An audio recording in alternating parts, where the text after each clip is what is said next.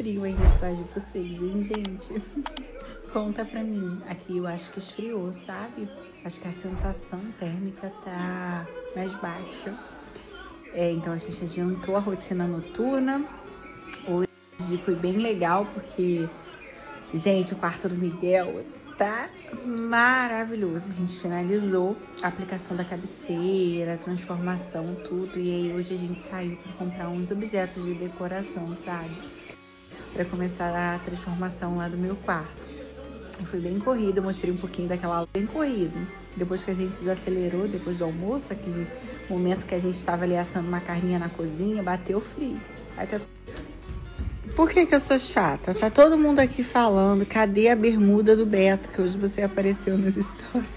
Com outra bermuda, já tá com outra, ó, gente. Hoje tem jogo de qual time? Ó, ó, ó, uniforme. Aí, gente, ele tem bermuda, o problema é que ele gosta. Naquela. Daqui a pouco ele vai subir e vai voltar com aquela. Tá lavando? Botei de molho eterno, gente. Botei de molho eterno ela no, no guarda-roupa. Descobriu que eu joguei fora. Agora ela lascou, vai brigar comigo a noite toda. Porque eu joguei a bermuda dele preferida fora.